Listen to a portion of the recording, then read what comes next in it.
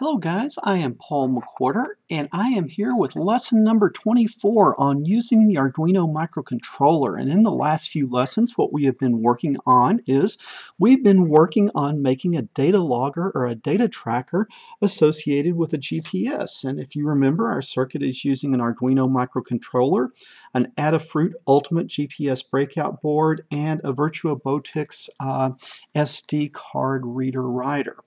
And in the last lesson, lesson number 23, we got all this hooked together where it was taking data, and if I took it outside and got a fix, it was recording on the SD card all of the data that was coming off of the GPS.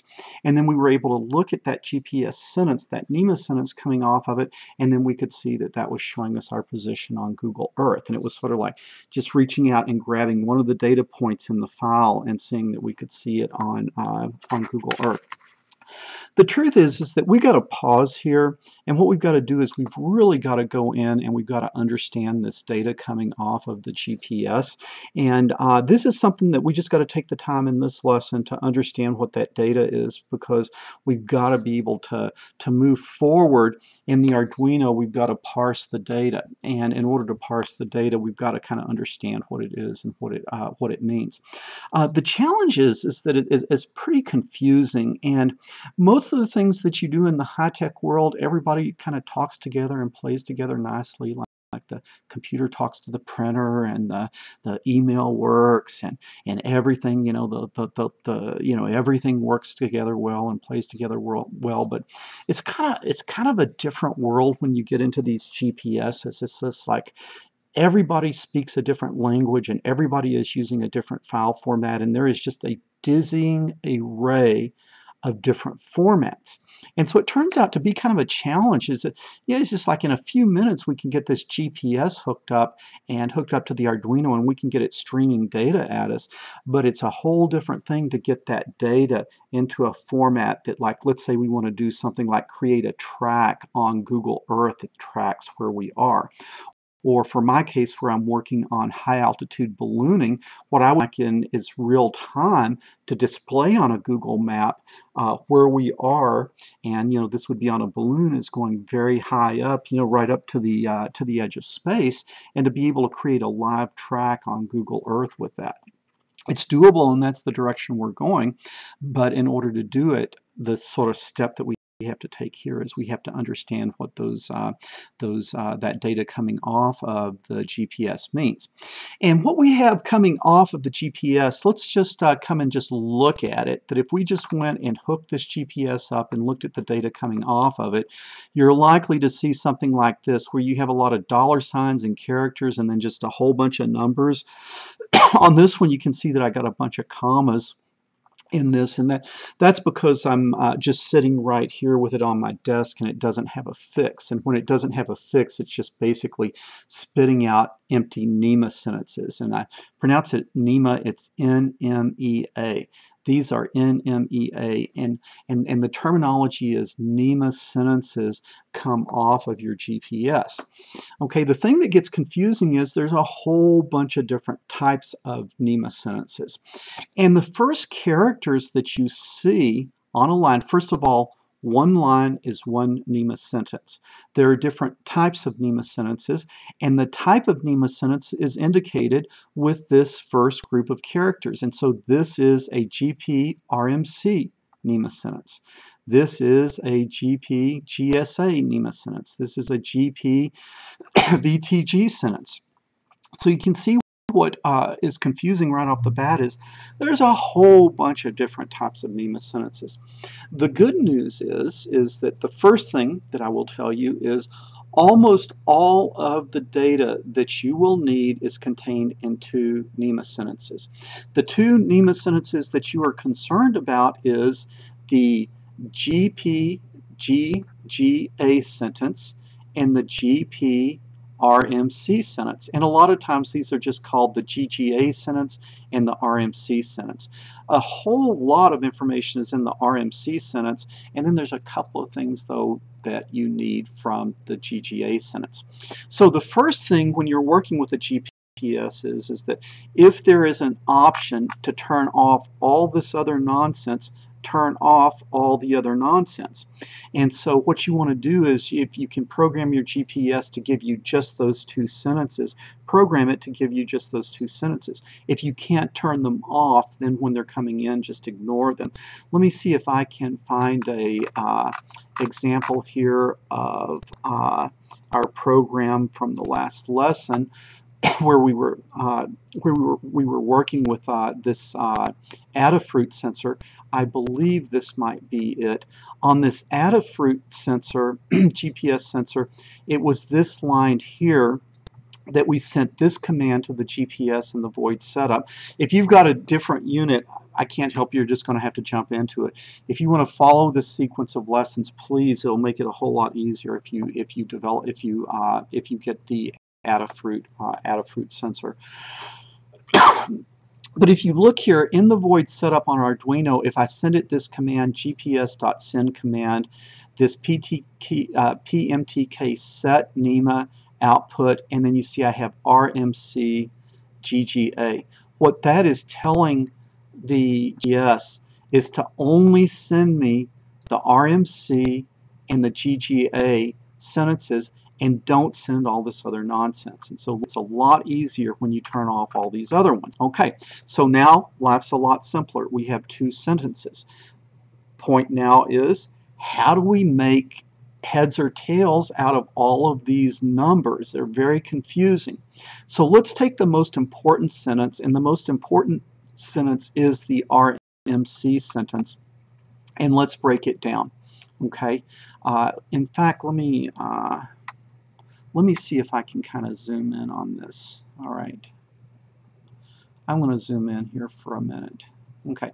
So if you look at it, the first thing is the dollar $GP RMC. What is that? That is telling me what the sentence type is on that line, and it's an RMC sentence, the recommended minimum sentence, and that's really what I want. Okay, that's the type of sentence that I want. What is this next thing? The next number is 194530.000. That simply is the Universal Coordinated Time, and it's called UTC. And that would be, it's 19 hours, 45 minutes, and 30.000 seconds. And if you know what time zone you're in, it's very easy to convert from UTC to your time Google it. It's very easy to, to, there's tables all over the internet that show you how to convert from that. But you can see it's like a 24-hour time, so it's a 19 hours, 45 minutes, 30 seconds. Very, very, very easy. What is next? This letter. You will have here a letter A or you will have a letter V. if you have a proper fix and are getting proper data, this will be an A for active. If you don't have a fix or something's wrong, this will be V for void. And if you're sitting looking at this sentence uh, in your software, in your program, you can be checking on that. You need to be seeing that if an A, if you have an A, everything's good. Okay, now let's get to some real data. This number, 3051.8007, is your latitude okay but it is a goofy format to tell you latitude and let me explain the 30 is 30 degrees. The 51.8007 is the minutes. And what you just got to remember is, is that there's 60 minutes in a degree. And so if I have 51.800 seconds, that's almost another degree. And so this would be almost like 31 degrees. But instead of saying something like 30.9 degrees, they give you 30 degrees and 51.8007 uh, uh, minutes. So we'll deal with that a little bit more into how to break that down and parse it in a minute because we got to get it into some. I, I like to get things into Google Earth, so we got to get this thing wrapped around in a way that Google Earth will recognize it. But for now, just in your mind, know that this is 30 degrees 51.800 seconds, and the N means you're in the northern hemisphere, and that's very important. We'll talk about how to, how to deal with that in a minute. Let me uh, let me say a little bit uh, a little bit more here. When you're parsing this, you've got to be really careful because you can't just say, okay, let's take the first two numbers and let's call that degrees because depending on where you are, there might just be one character for degrees or there might be three characters for degrees or two characters for degrees. So when you're, you know, because you could you could be at a, you could be at a latitude of two degrees, you could be a latitude of two, 20 degrees, or you could be a latitude of 200 degrees. And so this will be one, two, or three characters. but what is always true is this decimal point and these two numbers are always minutes. So you come to the decimal point and then you and then you take the two numbers to the left of it and that will be that will be minutes. So you go 2 to the left of the decimal and then you go all the way to the comma. And so 51.0.8007 is always the degrees. I mean, it's always the minutes. Okay, so you remember that. And then whatever is to the left of that, to the other comma, that's going to be degrees. And so I'm sorry if I'm just repeating myself, but this is 30 degrees, 51.0.8007 minutes in the northern hemisphere. And you can sort of see the point that I'm trying to make here. If you look at the next one, this is our longitude, okay?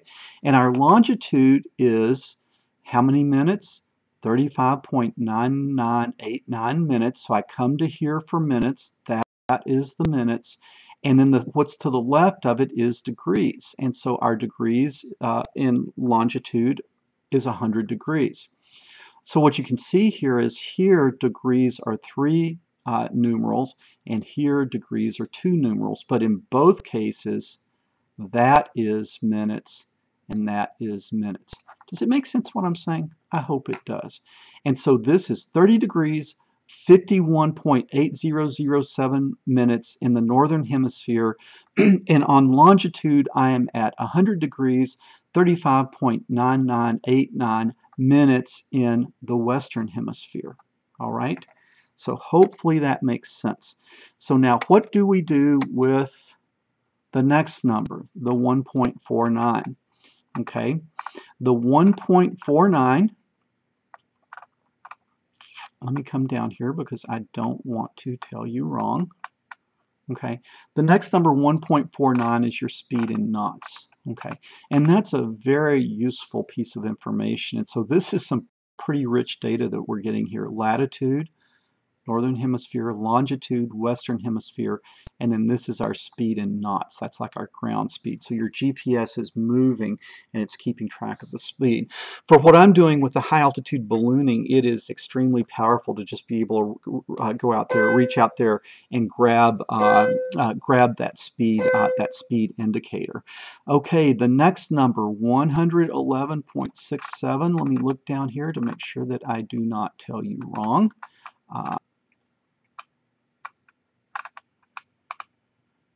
Okay. Okay that is okay that is the track angle. And that's not something that I use and that's not something that is really very useful. What's useful here is the velocity and then the next thing the track angle. It's not something I use. It's something that if you really want to understand it you can go and google it but it's not something that I use. Alright so what is this next number? This next number is basically the date. Okay, and here's how this works. This is saying that it's the 31st day of the seventh month of 2014. So it's sort of like day, day, and then it's month, month, and then it's year. July 31st, 2014. So you get the time, you get the date, you get your latitude, you get your longitude, you get your velocity. And so all of that is most of the stuff that you need from a GPS. Now, there's some GPSs that will report some other stuff between these commas. And then this goofy thing here is different every time. It's like a checksum where the GPS is just sort of like self-calibrating itself. Is everything okay? So we don't worry about that. This is the, the stuff that's really sort of golden to us is this stuff in here. Okay, it's the latitude, longitude, and our velocity. Okay, so that's some very, very valuable stuff. that is the GP uh, RMC sentence. Let me talk a little bit more now about what, what do we do with this, this number here. So let's say that we have this, okay. Uh, let me see if I can copy it down here. I'm gonna I'm gonna come up to Google Earth. So you guys go ahead and call up Google Earth and let's play with this a little bit. All right, I'll try to get it where you can see it here. It's going to be kind of a mini Google Earth here. So this is where we would put something in the search bar. So let's say that I just come up here and uh, if I got this uh, like this, which was, I need to see if I can get these both showing, at least sort of.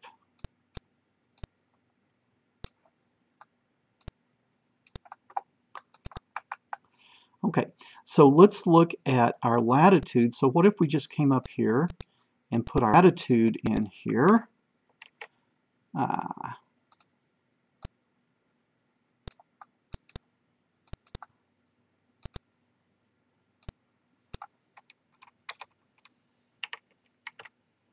okay, this is getting formatted text, but what I can do, never fear, what I can do is, let me just get it from the NMEA sentence.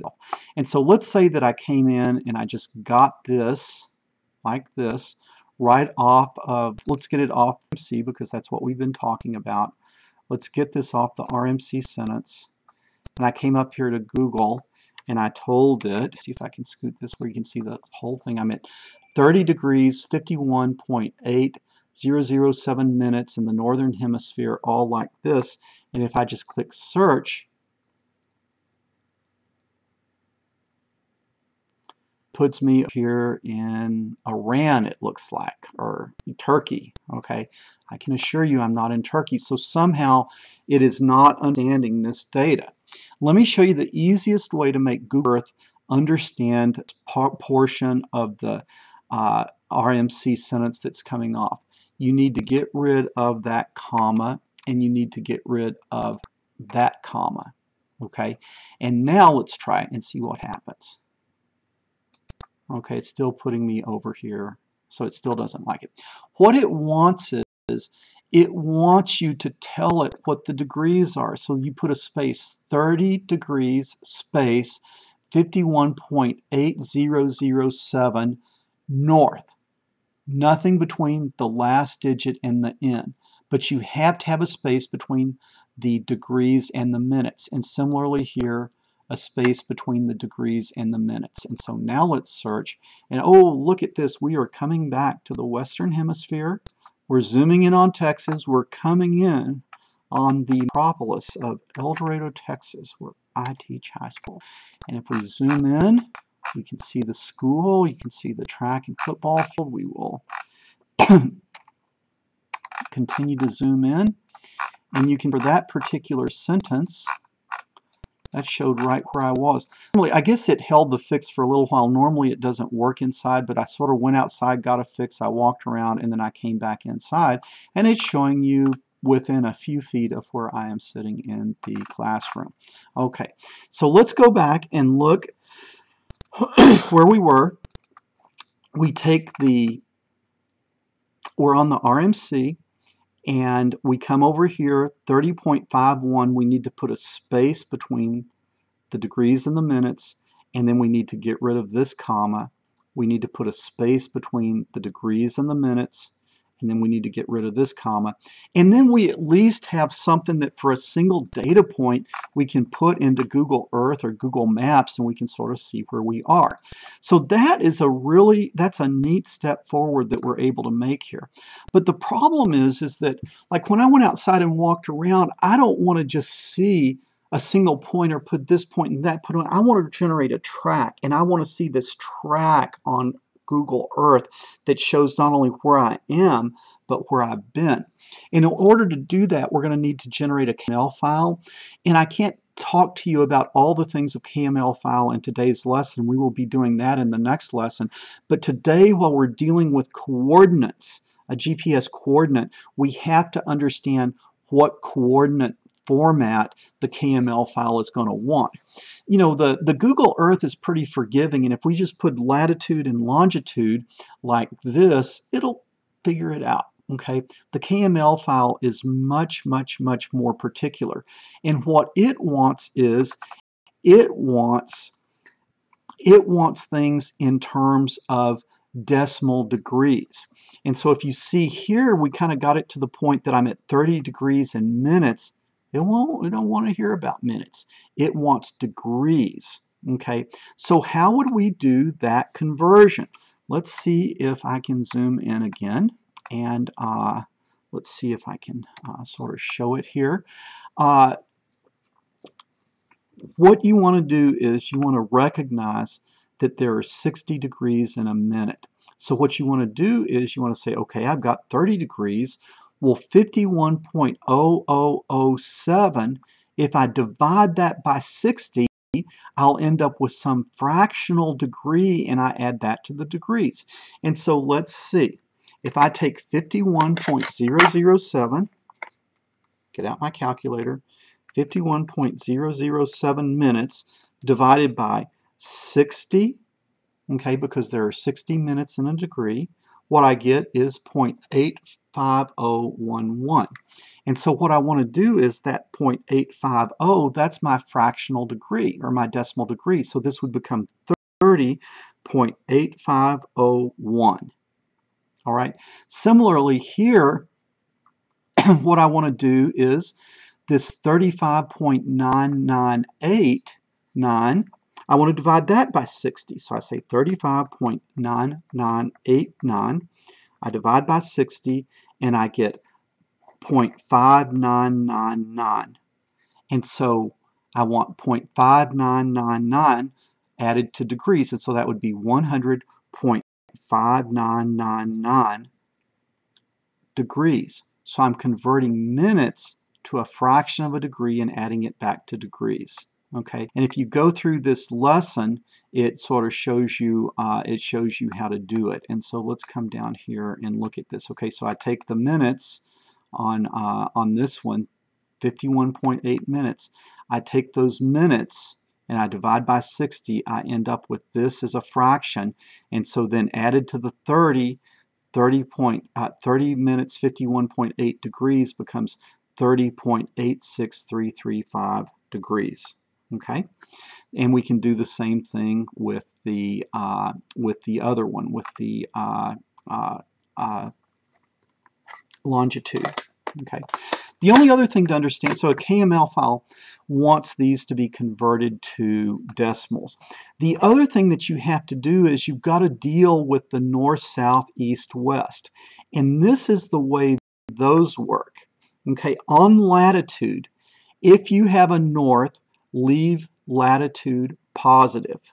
Okay, if you have a south, make your latitude a negative number. If you on longitude, if you have east, leave your longitude positive. If you have a west, you have to convert your longitude to a negative number. So north and east would be positive and south and west or south or west would be negative.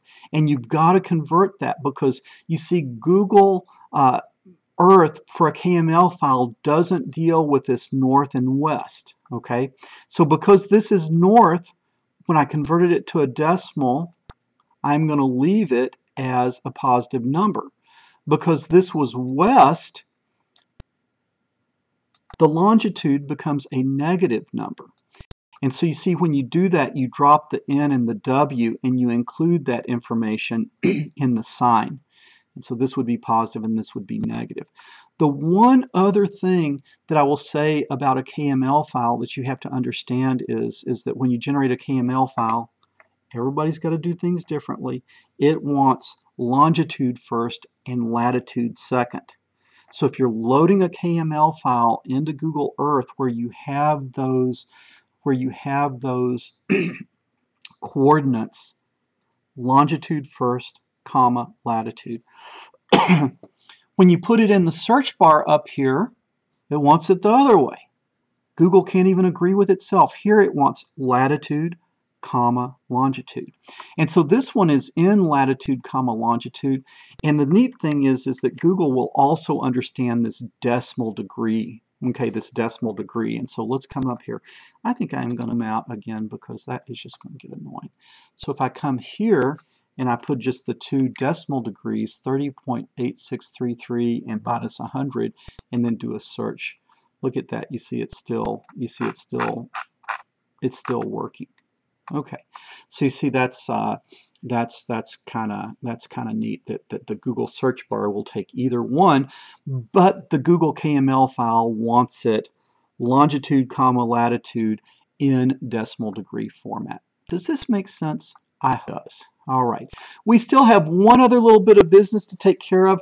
What we need to do is we need to go in and we need to now look at the other sentence because for things like high altitude ballooning or uh, or unmanned aerial drones, which are two things that I'm really interested in working on, this GPGGA sentence has some really, really valuable information. And so let's go in here and see if we can break it down again, okay? And so let's start here. We've got the 194530.000, and you can probably imagine that like before in the RMC sentence, that is the universal coordinated time. So that's uh, UTC, and that is 19 hours, 45 minutes, and 30 seconds. No problem. Other good news is we've got latitude and longitude just like the RMC sentence. I don't have to go through that again. So I'm in the northern hemisphere, western hemisphere. I do not have to go through that again. Okay, so what is the one? The 1 is, or the next number after the W, or it might be an E there, but this next number represents the fix quality, okay? A fix of 1 means you have a fix, and a fix of 0 means you don't have a fix.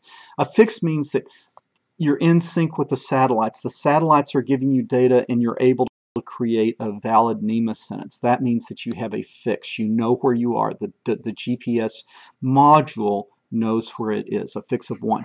A fix of 0, no dice. If you have something other than a 1, it's like just a little more detail about what type of fix you have. On this Adafruit, all I ever see is a 0, no fix, or a 1, yes, a fix. So those are the two things, I, uh, uh, the only two things that I ever see. The next number tells you how many satellites you've locked onto. For here, the more satellites, the better. Four is kind of a low number, not a real good number, but you can see I just stepped outside. I wasn't in a real good place to see the sky well, and I only had four. I only had four satellites. The next number, 2.18 in my case, is, is called the horizontal dilution of position. It's not that important. It's not something that I use or fool with, but you can look it up if you're interested in it. And this next one is really, really, really important. 746.4. That is your altitude above mean sea level in, uh, in meters. So I am 746.4 meters above mean sea level. Okay, now if you start getting into what is mean sea level versus what is sea level, you're just opening up a big old huge can of worms. And you can go and you can look at that, but the easy thing to do is to just understand that for most applications and for most people and, and, and, you know good enough for, for, for most things would be just consider this your altitude. I am 746.4 meters above sea level. What, what this next number is, is that where you are on the Earth, what is mean sea level. And that's assuming that the Earth is this ellipsoid and it's this mathematical description of the Earth. And where are you above the mean sea level where you know, where is mean sea level versus that ellipsoid where you are and it's minus 22. And so if you were doing some real, real precision stuff, you would need to go in and understand what that ellipsoid was and, and, and, and start dealing with that. But for things like the high altitude ballooning or for the unmanned aerial drones, I simply look at this as, you know, simplistically look at it as the elevation in meters above sea level. Okay, some things will give you like some magnetic information in between these next uh, two commas, but my GPS does not report that. And then back to the checksum. Okay, so what did we really get out of this sentence that we care about? What we got out of this sentence that we care about is, well, I do kind of care how many satellites I see, and so that's something really useful. And what I really, really, really care about is this nice simple measurement of uh, nice simple measurement of altitude. Okay, so those are your two NMEA sentences. That's how to parse them, and that sort of gives you a heads up about what Google's looking for. What we're going to do in the next lesson is we're going to develop some software down here that will kind of bust up that NMEA sentences, a NMEA sentence, and start generating a file. I want to generate a KML file that I can actually bring into uh, Google Earth, and that's what we will be doing in lesson 25. Thanks for tuning in, guys. Subscribe to my channel. Thinks about, think about giving me a thumbs up on this video. Talk to you guys later.